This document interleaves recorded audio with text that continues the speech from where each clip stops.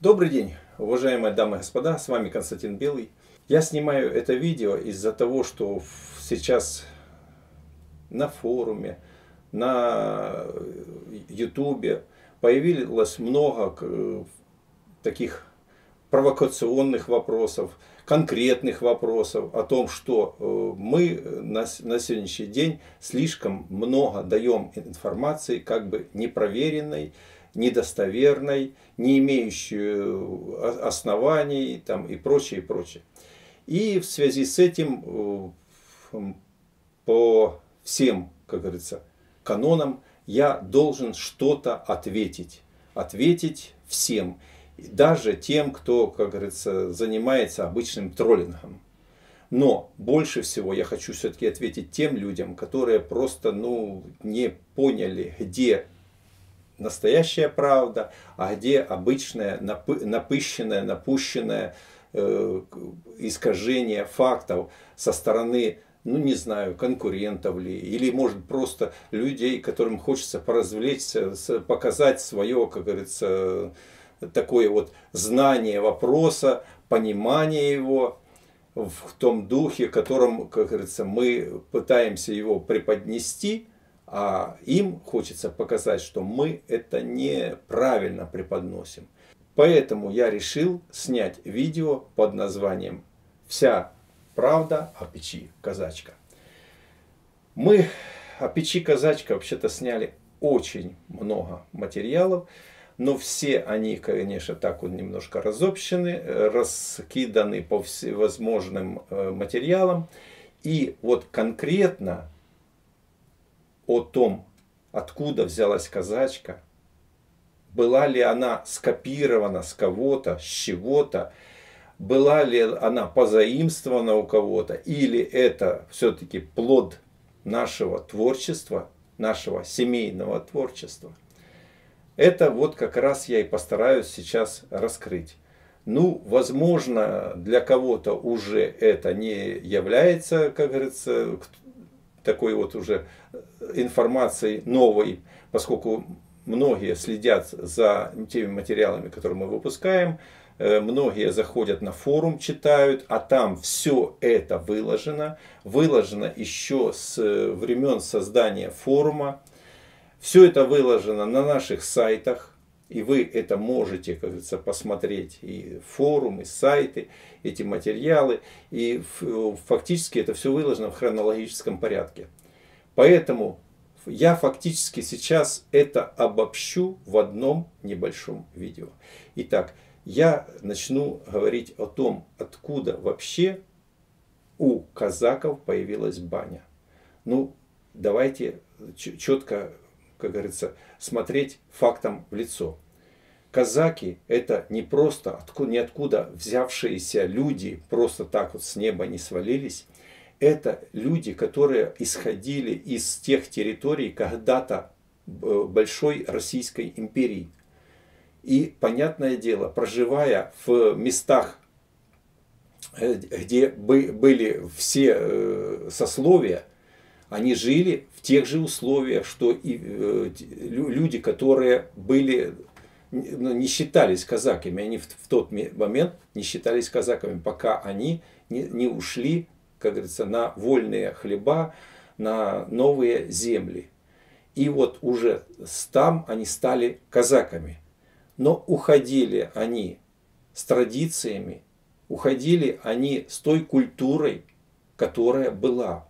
И понятное дело, как культуру обычного проживания, сосуществования, так и культуру быта они несли с собой. И баня это была э, культура быта, которая никак не отъемлема от любого э, человека, который когда-то проживал э, вот, на Руси. И вот эту вот культуру быта казаки с собой принесли на Кубань. И на Кубани было создано все, как говорится, условия руками этих казаков. Все условия для проживания, для творчества, для э, существования. И никак не может баня быть отделена от того процесса, который, как говорится, происходил в среде людей, проживающих на этой территории. Поэтому, когда начинают кто-то говорить, что вот баня это только там Сибирь, север, там э, центральная полоса, а на юге бань не было. Ну, уважаемые, вы просто-напросто не э, хотите смотреть правде в глаза. Или просто-напросто вы зашоренные. Потому что на э, везде люди, где проживали, они обязательно должны поддерживать здоровый образ жизни. Здоровый образ жизни без очищения, без омовения никак вы не поддержите. Это просто обязательное условие. И поэтому баня была, есть и будет. Просто она периодически трансформировалась. Просто в какие-то моменты баню э, замещали другими э, принципами, особенно вот когда пришел э, Советский Союз, как говорится, когда советская власть пришла, вот, э, то тут произошел перекос, потому что людей хотели организовать в определенные виды коммун. А понятное дело, коммуна, коммуна и частная собственность, семейственность, они противоречили друг другу. В, ну, допустим, семейственность еще не так всяк, а частная собственность очень сильно. И поэтому однозначно, как, как говорится, советская власть бани, частные бани, поставили в рамку, как говорится, запрещения – если на севере они сохранились чисто по э, тому, что без бани вообще нельзя, как, как говорится, то на юге их заместили общественными банями.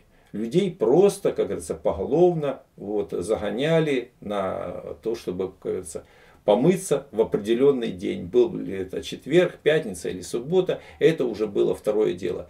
Но самое главное, что семейная баня как говорится, претерпела огромнейший удар со стороны советской власти. И уже в, через фактически 100 лет после того, когда произошло разрушение Советского Союза, у людей начали, э, как говорится, меняться стереотипы, начали смотреть люди вокруг себя и понимать, что же мы потеряли – и вот те островки бани, которые сохранялись, а мой дедушка, он сохранил эту баню, она была у него э, все время, плюс тому, что там, где сохранилась, вот на Кубани была великая хата и малая хата. Великая это там, где проживали, малая хата это там, где люди занимались э, хозяйственными делами. И э, вот эти хозя помещениях, как малой хате, она часто примыкала.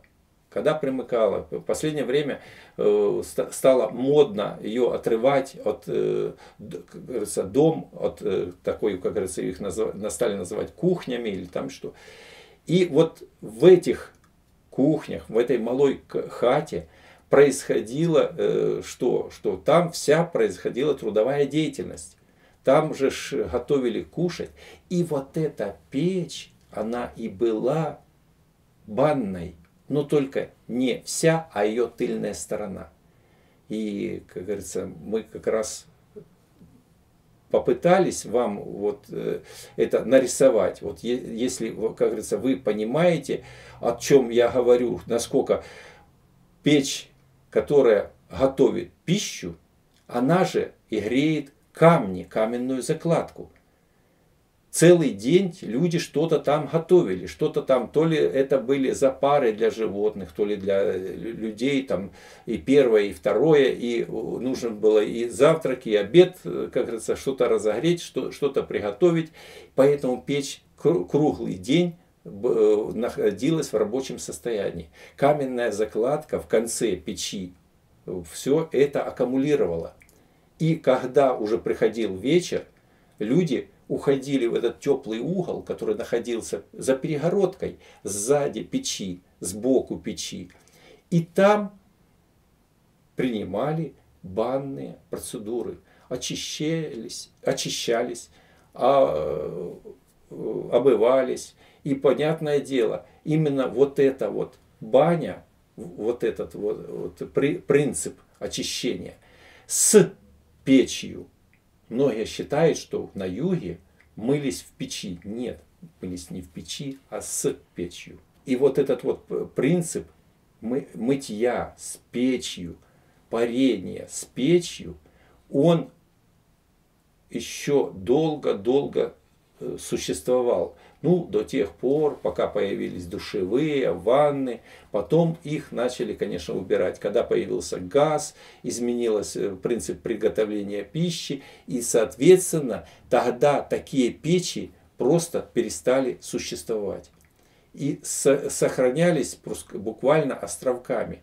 Я успел ее застать, и когда мой, э, ну, как говорится, я был тогда молодым, мне казалось, что это очень неудобно.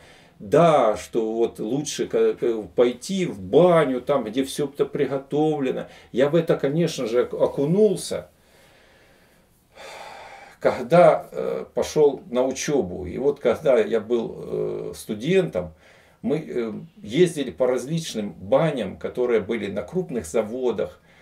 Вот Новочеркасский электровозостроительный завод, там крупнейшая была баня. Вот, она считалась очень хорошей по тем временам.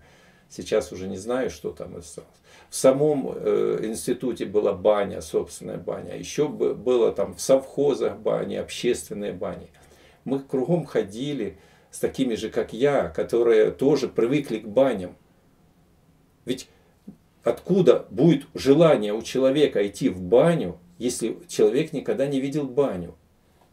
Просто-напросто те студенты, которые учились, а учились студенты в, со многих э, областей, это было и Ростовская область, Краснодарский край, и были с Украины, вот, и все, все люди знали о бане. Ну, кто-то ходил в баню, кто-то, да, довольствовался просто душем в, это, в, ну, понятное дело, душем пользовались каждый день. А баню раз в неделю все равно хотелось сходить.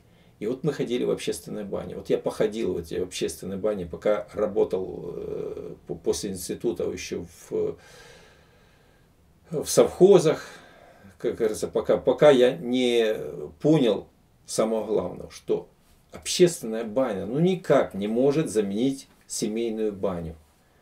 Я все время ностальгировал по той баньке, маленькой баньке, которая была в теплом углу у дедушки. Это была настоящая душевная баня. В общественной бане нет такого духа, нет такой вот обстановки, умиротворения, вот это спокойствия. Нет того, как говорится, вот нормального очищения, оздоровления, нет медитации, которой мы должны тоже стремиться. Мы должны расслабиться. День тяжелый, неделя тяжелая. Куда все это кидать? Ну, конечно же, в бане скинул все это самое, освободился, отпарился, очистился. Все, ты новая копейка. И вперед с новыми силами, с новыми э, задачами, с новыми мыслями. Вот такая баня нужна была. И уже я, когда э, ну, жил и на, на квартирах, и в, и в квартирах, как говорится, не мог себе позволить в тот момент сделать баню до тех пор, пока не решил эту квартиру поменять на землю и начать строиться.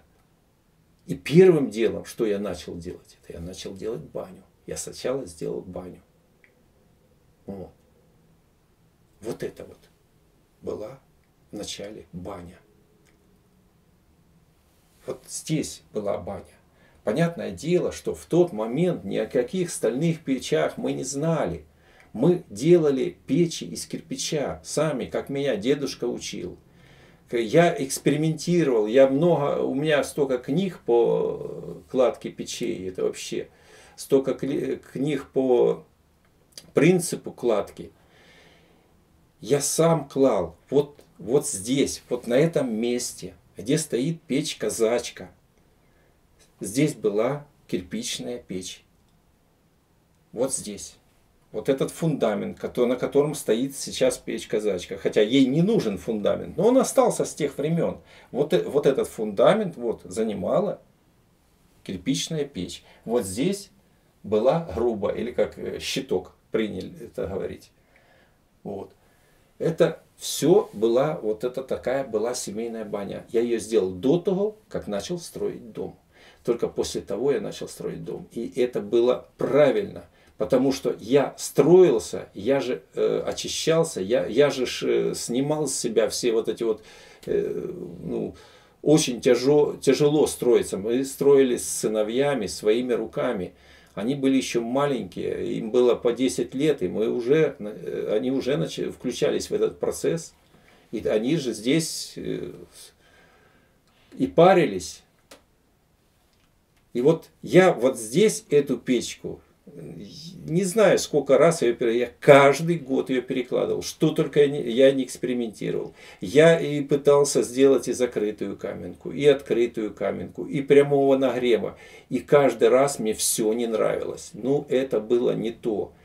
Потому что э, то, что, как говорится, было у дедушки, я это достигал. Вот. Но э, не так это, это было, потому что там была огромная закладка камня, которая грелась целый день. Потом можно было с нее часа два получать э, пар. Было прогретое хорошо помещение. Здесь же помещение всегда было, когда мы начинали, как говорится, ну, готовить печь, оно было холодное. Значит, задача была прогреть помещение. Задача была нагреть камень для генерации. И нужно было не перегреть помещение и нагреть хорошо камень. В то же время, когда начинали э, экспериментировать э, периодического горения или постоянного горения, делали такую печь и такую печь. И все-таки в кирпиче она была очень-очень тяжело управляемая. Ну, чтобы, как говорится, получать полностью удовольствие, как говорится, да, понятное дело, мы парились, это было ну, просто великолепно. Но вот всегда чего-то не хватало. И вот уже дошло время до того, что сын сказал, пап, ну может быть хватит, но посмотри, люди с остальными печами, как говорится, нормально парятся. Ну что ж мы, как говорится, вот э, это в 2005 году он мне так вот э, сказал, вот уже, говорит, пап, ну что ж ты сколько раз ты ее будешь переделывать, ну сколько ж можно из одного и того же пытаться что-то сделать. Ну давай сделаем стальную. Ну со сталью в тот момент не работал, я не знал, как это делать. Для меня это было сложно, хотя, как говорится, конструктивы какие мы уже варили, мы уже что-то делали, как говорится, создавали системы отопления, для нас это, это было. Но печь сделать, это совсем другое. Вот. Мы делали систему отопления, мы, как говорится, устанавливали котлы, мы обвязывали их, мы делали гидравлические разделители. Это все уже было, у нас это все было наработано.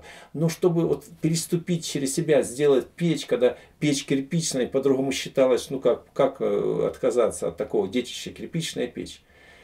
Ну, как говорится, дело молодое, э, не слушать детей нельзя. Дети очень часто подмечают то, где у нас зашорено, мы уже ничего не видим. Поэтому я решил прислушаться, прислушаться к нему. И начали мы изучать рынок. Изучали очень долго, очень много.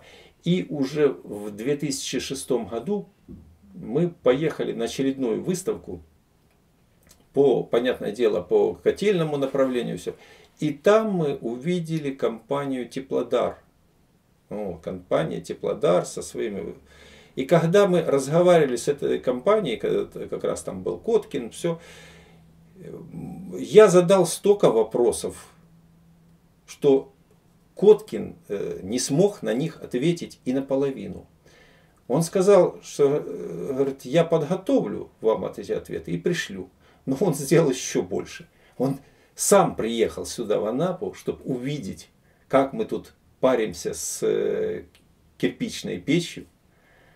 Сам приехал, посмотрел все и э, предложил нам, как говорится, э, сотрудничать. Предложил нам свою, свою печь Понятное дело, что первоначально, как говорится, несмотря на то, что у них уже была печь Русь, мне все-таки предложили сюда печь Сахару с парообразователем. У них уже была на этот момент печь Сахара с парообразователем. Мы ее поставили. Ну, как говорится, она у нас здесь долго не выдержала э, наши, как говорится, парения. И, понятное дело, я был недоволен, недоволен очень ею мы начали больше вникать, и когда мы уже непосредственно стали сотрудничать плотно с компанией Теплодар, мы начали брать их печи, продавать. Вот. Поставили уже печь Русь. Сюда поставили, брату поставили. Вот. Печь Русь по сравнению с печью Сахара, несмотря на то, что на ней не было парообразователя, на тот момент на ней не было парообразователя, она всегда себя показала все-таки лучше, интереснее и по режимам, и по кондициям. Все-таки это была более приятная печь, чем печь Сахара. И вот тогда мы и предложили э, компании Теплодар совместить парообразователь с печью Русь. Еще лучше, еще интереснее. Но все равно вот этот их коллектор, который до сегодняшнего дня не сделанный, мы этот коллектор чистили каждый год, по несколько раз на год. Вот. Э, это была огромная проблема, снять дымоход, вычистить, залезть туда, вычистить коллектор, снова поставить опять назад дымоход. По-другому он не чистился никак, газовый коллектор для дожига газов. И вот именно тогда, тогда я начал смотреть на эти вещи немножко по-другому. Плюс тому, я в 2007 году был на выставке и встретился с Ференгером Артуром Палычем, который вышел с идеей подовой печи, э, бесколосниковой печи, и вот он ее представлял в, на выставке. И меня же клюнуло, ну это же обычная кирпичная печь, только в стали. Это то, что, как говорится, от чего мы ушли. Вот. И когда началось сопоставлять стальная печь, та, которая в обычных э, ну, в производстве, которое сейчас делается, их куча делается, вот, они в основном колосниковые. Ферингер предложил бесколосниковую. И вот у меня тогда начало все складываться. Но почему мы печь не хотим скопировать с кирпичной печи, стальную печь с кирпичной печи? Но мне нравилась именно вот эта печка быца, с ее со сводом, с ее таким вот э, ну, мягкими формами. Плюс тому, что вот этот свод позволяет более лучше, как говорится, держать тепло и в то же время хорошо прогревать. Это э, уже продумано до такой степени было веками, само сложилось, что мы не пользуемся этим и зря. И вот тогда у меня родилась идея, и в 2008 году я вышел в компанию Теплодар с предложением делать цилиндрическую печь, вот, которая бы была с парогенератором совсем. Ну, как говорится, конструктора тогда были в шоке, потому что это нужно было все оборудование поменять. Еще в большем шоке был, конечно, Левчук, потому что это нужно было сказать, что все, что до этого они выпускали, это все, ну, как говорится, не то. А вот это направление вот, э, и начинать его делать. Но это фактически как вот Ференгер, вот он взял это направление, и он сказал, я вот это делать не буду, буду делать только это. И он делал, сделал правильно. Он отмел то, что, как говорится, в его плане было неправильно. И он сделал это направление. Но это же самое нужно было сделать компании Теплодар. Идею я им принес. Но они побоялись ее взять, потому что это нужно было, как говорится, концепцию. Это, ну это все, это нужно было пересмотреть все. На это они не были готовы. Поэтому они зарубили. Единственное, что они тогда, как говорится, мне сказали, что вот, если я придумаю то, чего, как говорится, не, у них нет, и то, что они бы не переделали производство, а дорастили производство, ну, я им предложил тогда котельное направление. Вот котельное направление с 2009 года и началось у них, э, как говорится, э, слаживаться. Слаживалась она до 2011 года, потом, как говорится, у них полный застой пошел. В 2012 году я взял это уже в свои руки, как говорится, и довел им до того состояния, что сейчас это уже у них направление, которое их все время кормит. Ну, это уже, как говорится, прелюдия. Самое главное, что э, вот это 2009 по 2012 год я фактически занимался только котельным направлением, а банное направление, ну так, поскольку постоку мы какие-то изменения предлагали Теплодару, они что-то там переделали, тот же сибирский утес, э, тот же еще что-то. Это в рамках тех концепций, которые у них они были, и концептуально они вписывались, и нормально, э, как говорится, они могли производить ничего нового они не хотели. Ну вот сибирский утес, там еще кое-какие изменения. Это э, пошло, и вот оно до сих пор у них идет. Но мне все равно было жалко, тем более, что я уже начал домысливать, что все-таки неправильно работают печи, основная масса печей, у которых дымоход имеет температуру 400-500 градусов. Ну это просто в корне неправильно. Это значит просто-напросто у нас основное э, горение газа ведет там.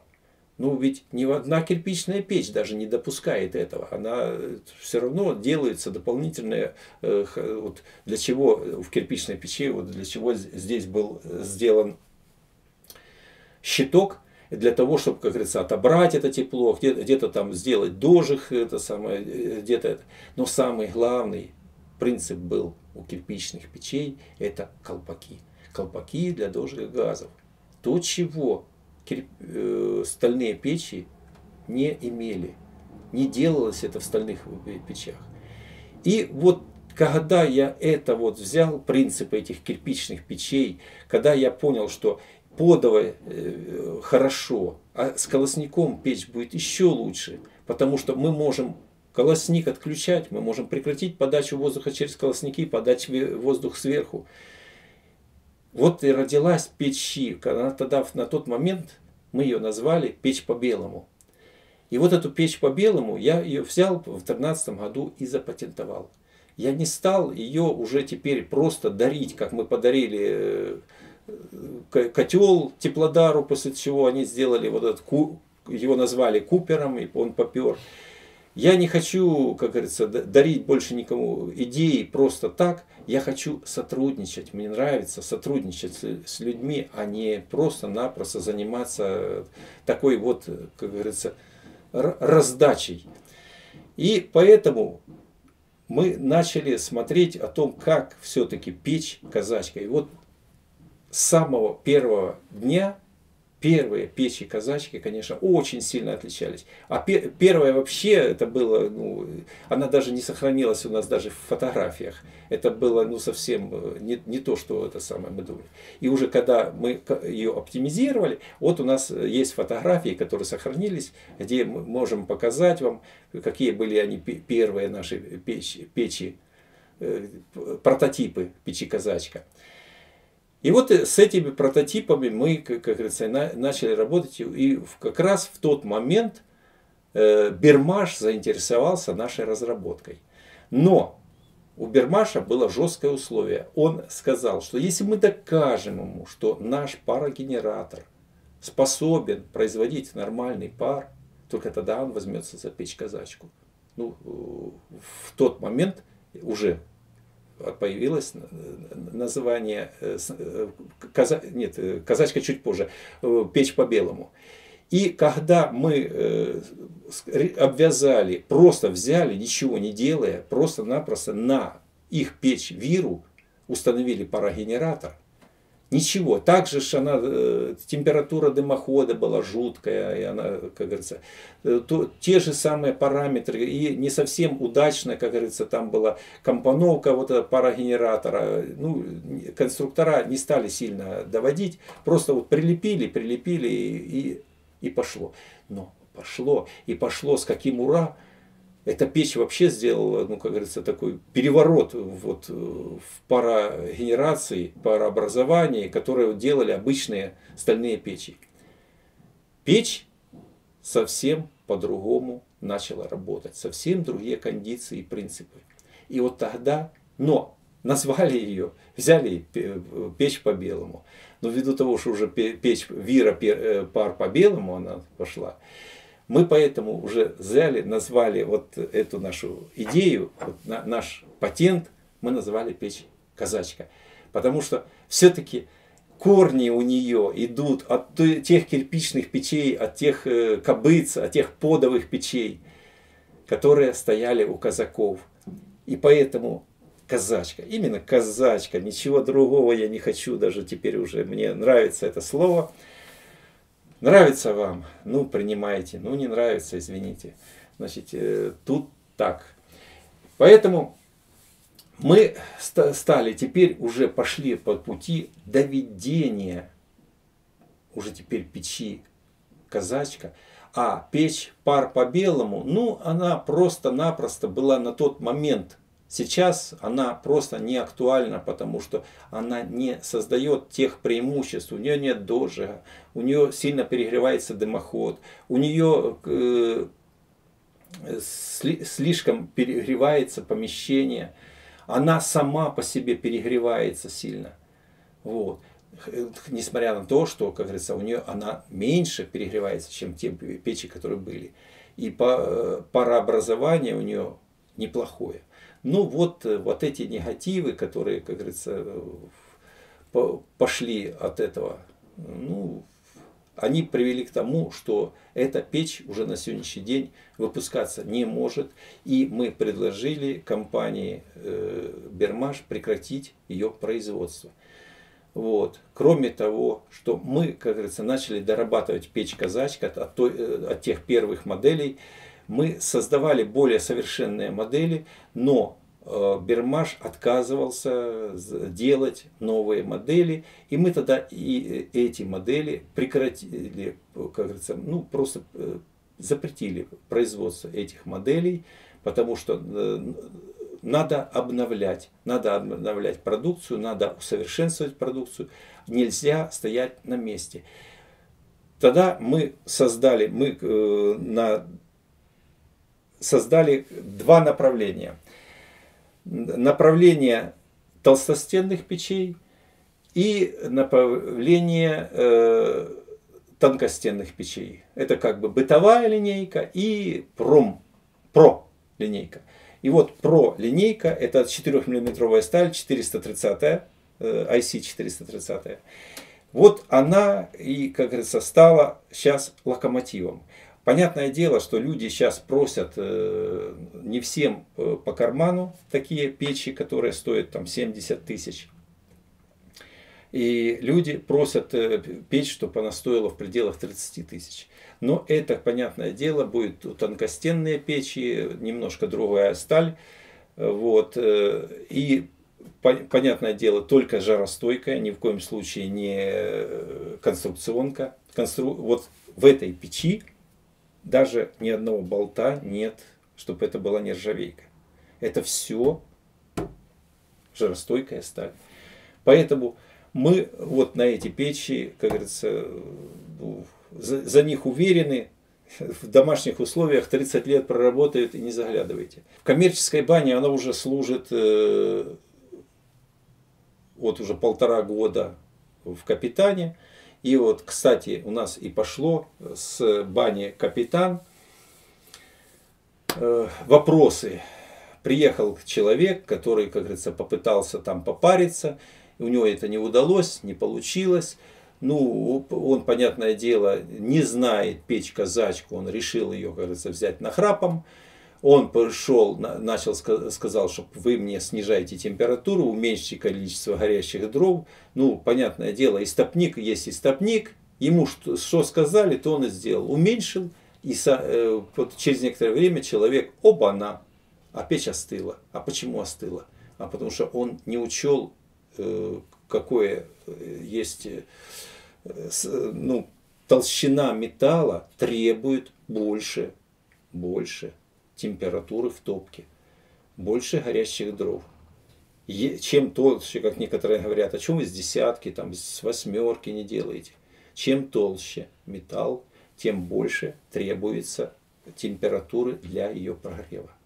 И если мы это э, игнорируем, игнорируем. Значит, понятное дело, у нас печь остывает. Остывает печь, а самое главное, как только э, топка остывает, остывает парогенератор, который находится на стенках печи, здесь он за камнем. И вот здесь он. И этот парогенератор не выдает пар.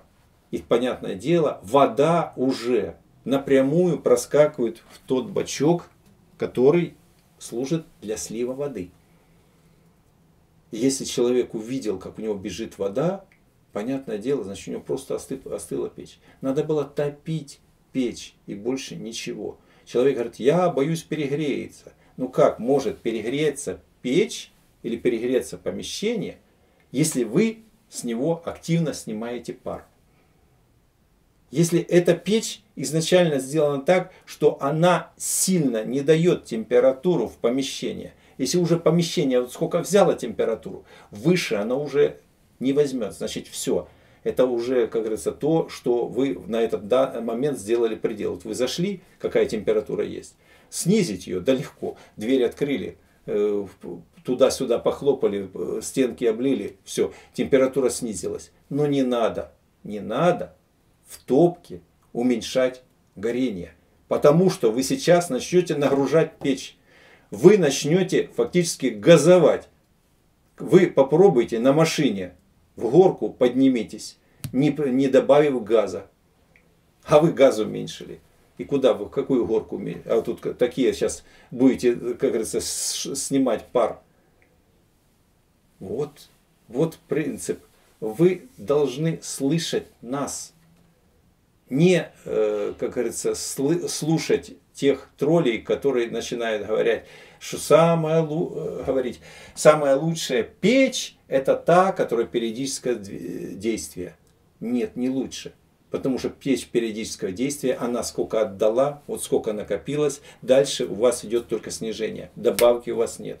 Самая лучшая печь, которая постоянное действие. У вас постоянно Сколько вы сняли, столько подошло. Столько вы сняли, столько подошло тепла. Самая лучшая печь постоянного действия. Начинают. Самая лучшая закрытая каменка. Ну, закрытые каменки, одно дело, это, как говорится, в общественных банях закрытая каменка, где-то там тонна камня. Я понимаю. Вот. Но закрытая каменка, которая вот сейчас пытаются там 20, максимум 30 килограмм камня – что вы с 30 килограмм или 20 килограмм. У некоторых вообще есть маленькие там ведро камня всего влазит. Там 15 килограмм камня всего на все. Что вы с него, какого пар вы получите? И вот только парогенератор, который вот сколько тепла пришло, тут же он забрал. Сколько пришло. Так давайте, давайте это тепло, чтобы больше, больше, больше его снимать. И чем больше вы даете тепла, тем качественнее вы получаете пар. И то, что там говорят некоторые, перегреется парная. Так вы, я не знаю, вы парную греете или пар получаете? Ну вот, решайте. Не, неправильные подходы и самое главное, уверенность людей там, где они никогда еще, кажется, не сеяли, не пахали. Ну, есть мы, есть наши ресурсы. Да зайдите, спросите, посоветуйтесь есть возможность, как некоторые говорят, почему мы не проводим э, там открытые мероприятия. Да мы их проводим. Кто хочет, тот приезжает.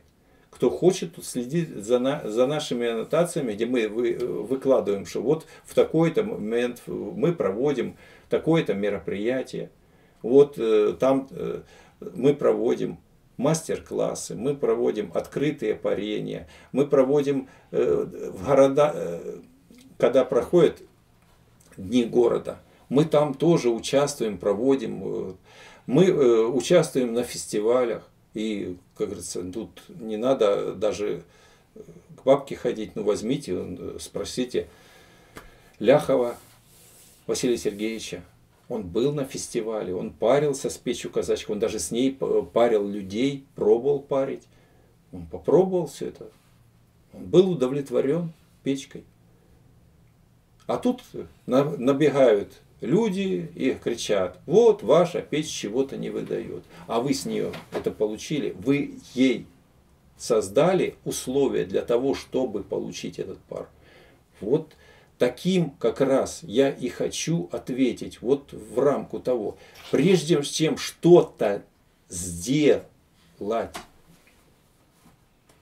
вы что-то поняли принцип? Или вы не стремились понять? Вам главное, как говорится, шапками закидать. Ну вот э, как, как-то вот таки, такие вот вопросы, вопросы, я хотел бы, чтобы все-таки они решались в открытую, не так, чтобы, как говорится, человек что-то сделал и втихаря где-то там кинул. Заходите на наш форум и будем разбирать каждый случай. А то получается так. Я там кинул, и вот я должен туда идти.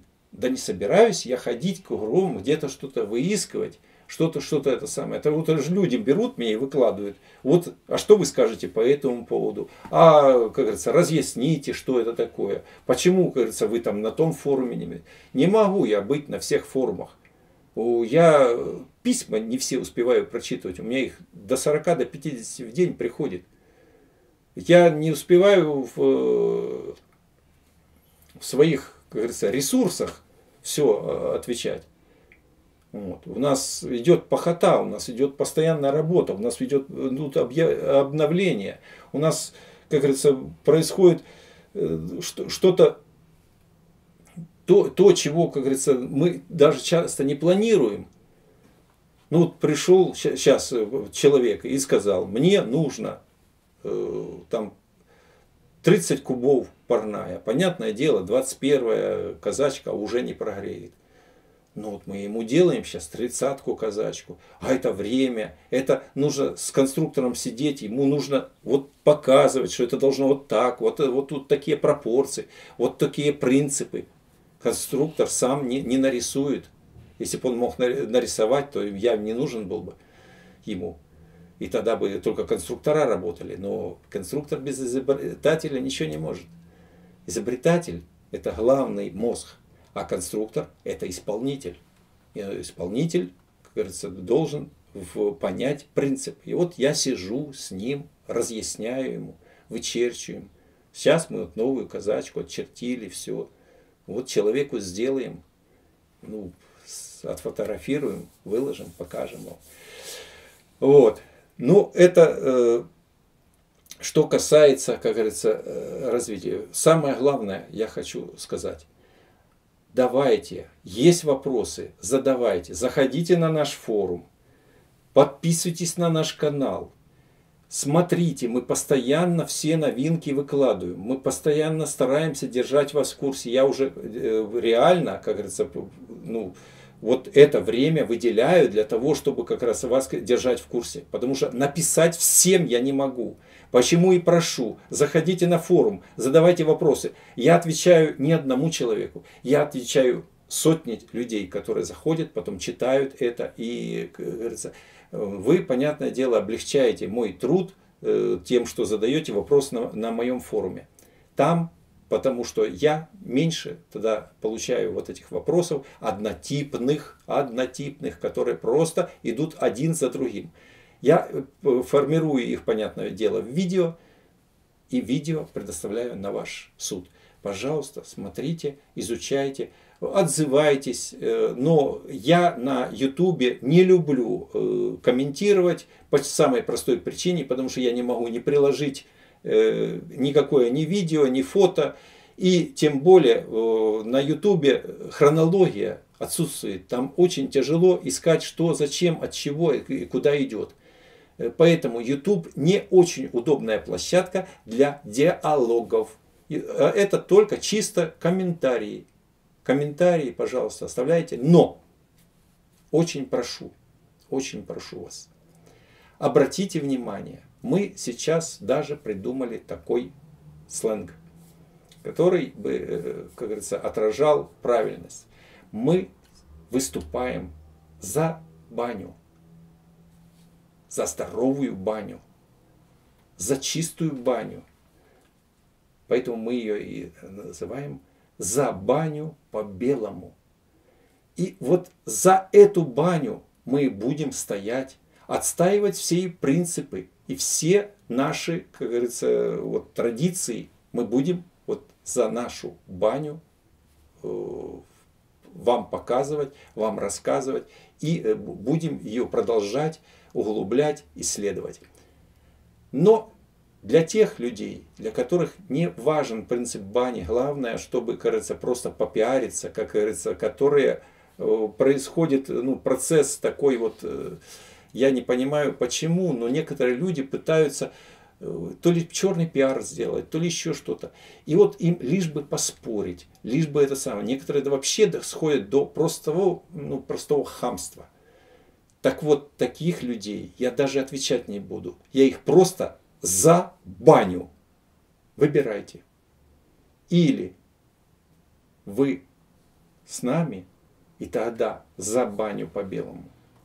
Или те, кто не хочет конструктивно разговаривать, тогда мы их просто забаним по-нашему, по-белому. Всего вам доброго, подписывайтесь на наш канал. До свидания.